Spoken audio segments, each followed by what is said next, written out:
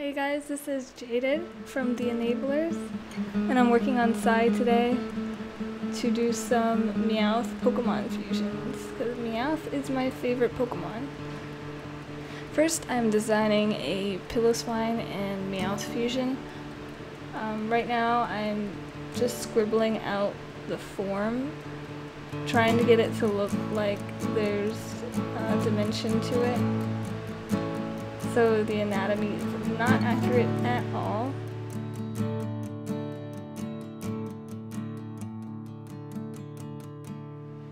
I'm using the lasso tool to move things around, get everything in the right position, right proportions. I want this fusion to have like a really relaxed look, like a lazy, you know, Piloswine looks kind of lazy, like he just lays around, so that's the feel I want to go for with this design. Um, so I want the legs and the arms to be very relaxed. He's in like a slouched seated position. I had the feet going up at first, but that takes muscle to hold it up there like that and it doesn't look very relaxed. So I just want them to look very like a rag doll.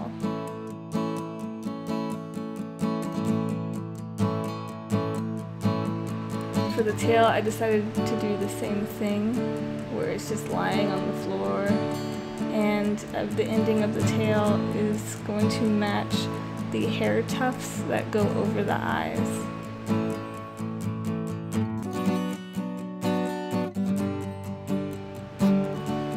Same thing with the paw.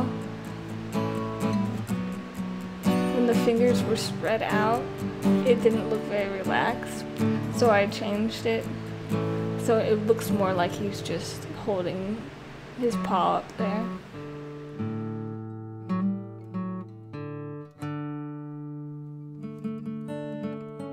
I want to give this a Meowth mouth because I really like Meowth's mouth.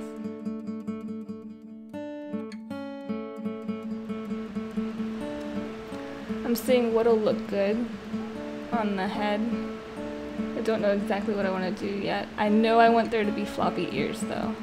That's a must.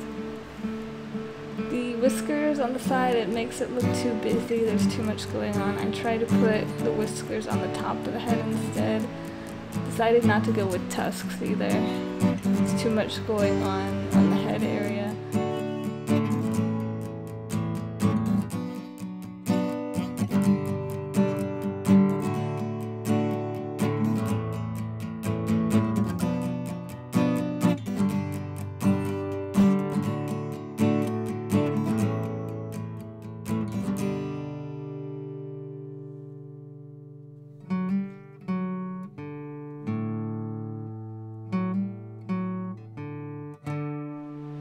Trying out whiskers again, but it's just too much.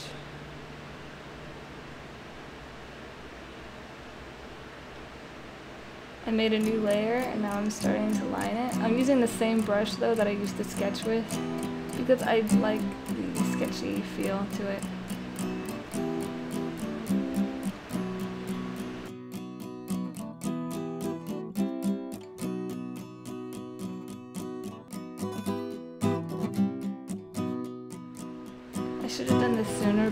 Flipping the canvas to see if it looks weird, and it looks like he's tilted to the right, so I'm fixing that with the lasso tool. i gotta tilt my line work as well. I recommend flipping the canvas using that button at the top uh, with the two arrows going left and right because when we get used to looking at it, our eyes can't really see the mistake, so we flip it, it gives us a fresh perspective.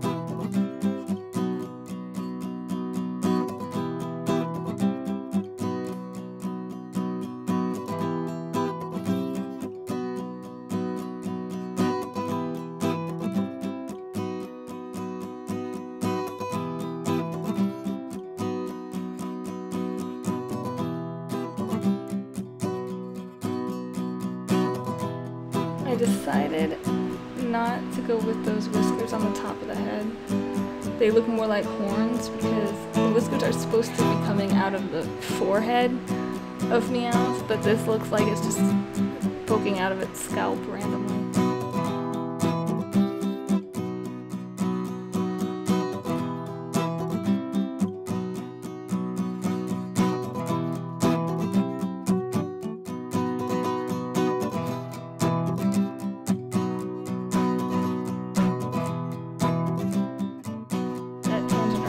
Really bothering me. It looks like two lines that shouldn't be connected are connecting to each other, so I'm trying to fix that.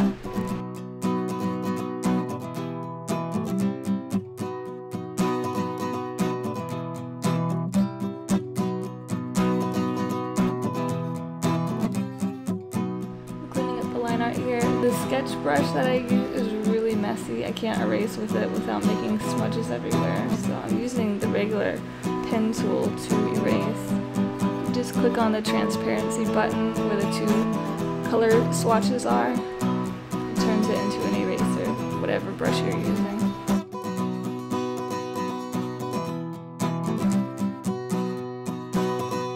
Rotating the canvas so I can make these lines more easily.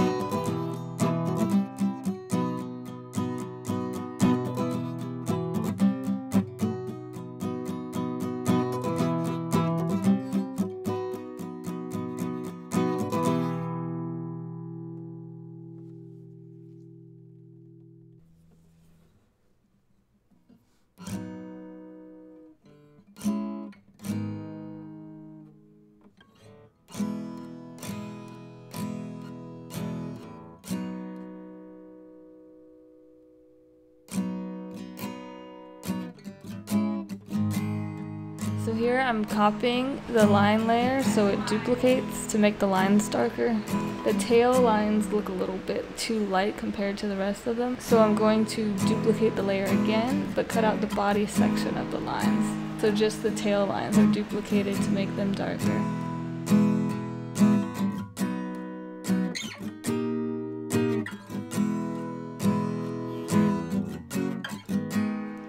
Now I'm gonna organize my layers, which could have done in the beginning, but I'm making a folder and putting the line art and the color layer and the sketch layer all under that folder. So the color is on a layer underneath the lines. I'm still using the same brush. I just made the uh, brush bigger. I'm using Piloswine's main body color for this, and I'm getting the swatches from my references on the right.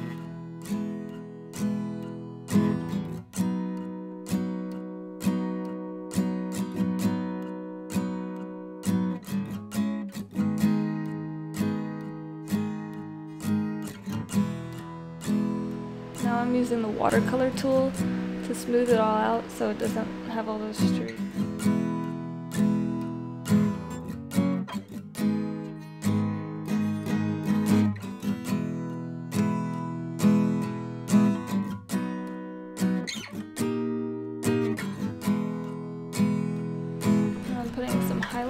Gonna smooth all this out with the watercolor because the highlights actually give it some texture. Actually makes it look like fur.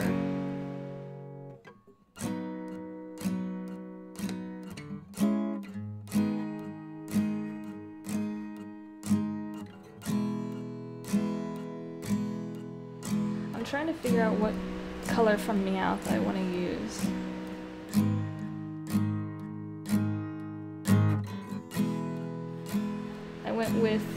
Meowth's main body color. It goes better with this brown color.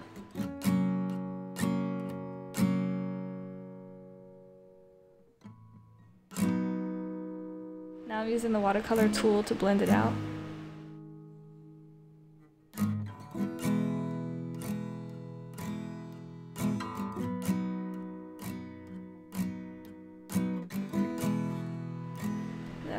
Swatched a darker color off of Piloswine so I can do some shading. I'll have the light source coming in from the left hand side. So I'm putting the shadow on the right.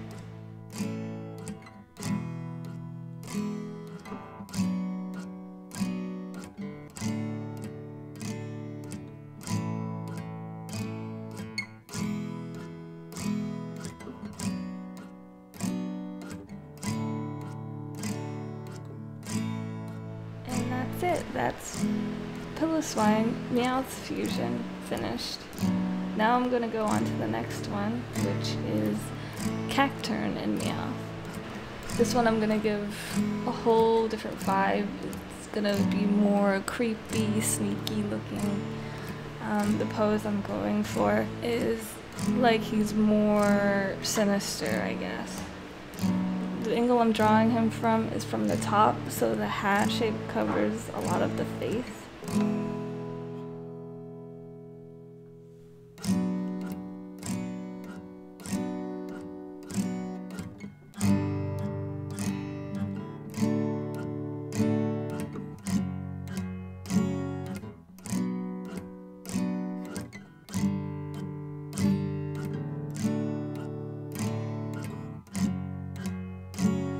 Get the perspective right because the head and the paws are going to be closest to, I guess, the camera, closest to the foreground, and the feet are going to be farther away.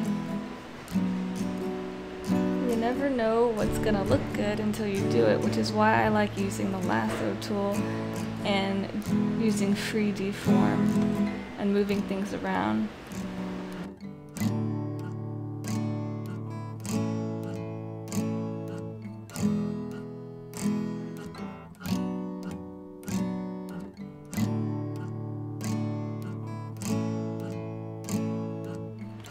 Figuring out how to draw the perspective of the legs and feet. I keep changing things around until it looks good.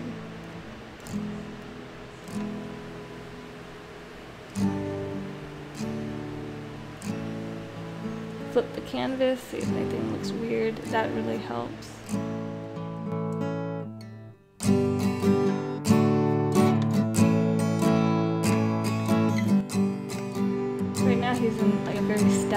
Position. I want it to have more action. So I'm gonna change those legs. Make it look more like he's in motion.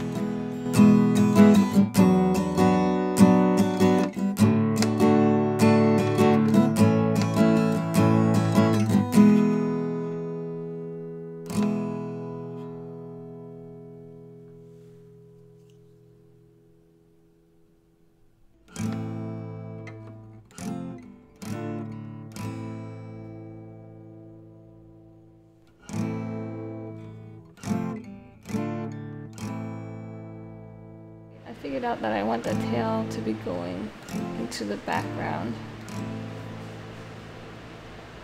And I'm gonna have his claws showing to kind of mimic the spikes all over Cacturne's body.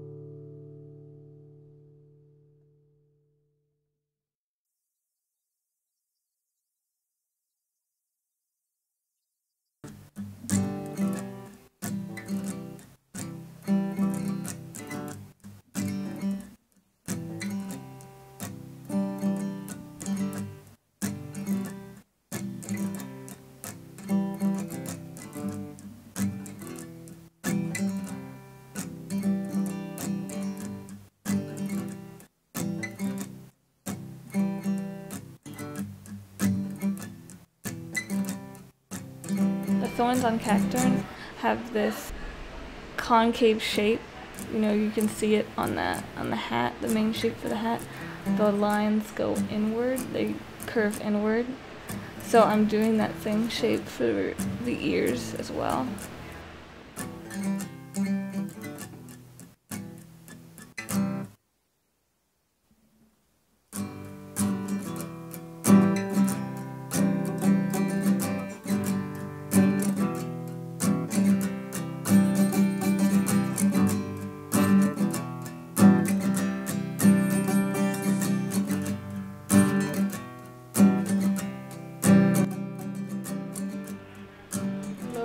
Opacity of the sketch layer and putting the line layer over top.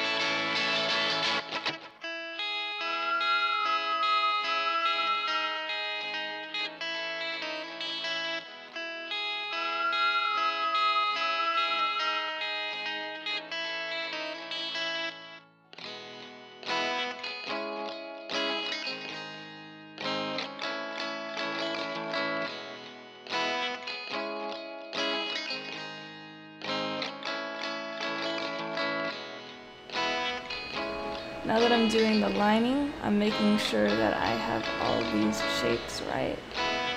Because Cacturne has repetitive shapes throughout his design, and I want to do the same thing for this.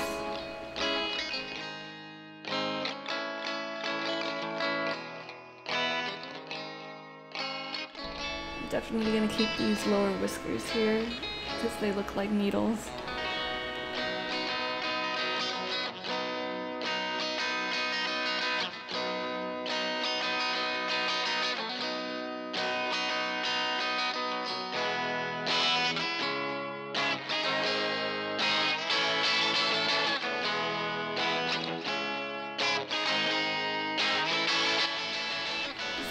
Change up the foot a bit, make him look more stable on the ground.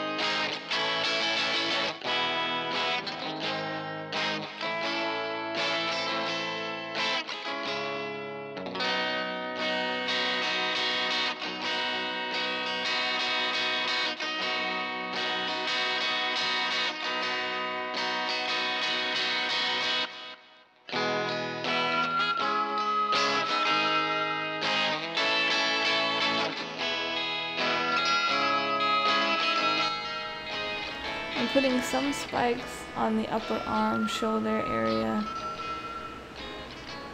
and some on the sides of the lower legs, but not as much as in the original Cacturne design because it looks like too much, too much going on. I want to keep it relatively simple and not busy looking.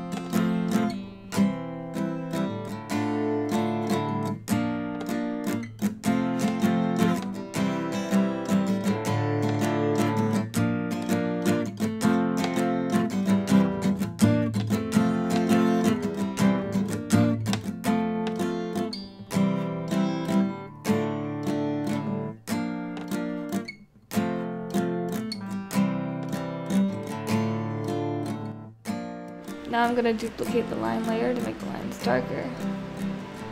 Lower the opacity a bit, get them to the right darkness that I want.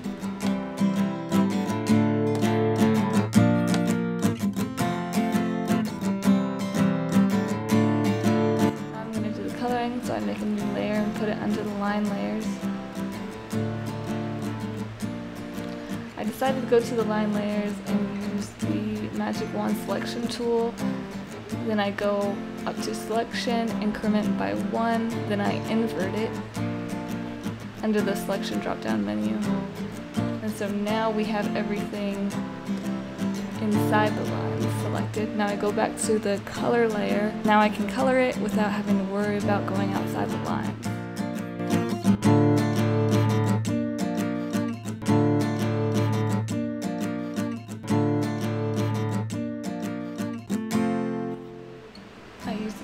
For the main body, the darker shade or the darker green for the hat and details. And I'm using my own uh, almost black color. It's really dark green for ears.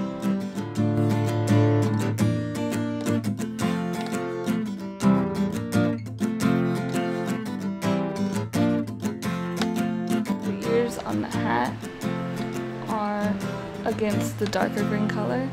So I have that black or that dark, really dark color against the dark green. So I'm doing the same thing in the tail.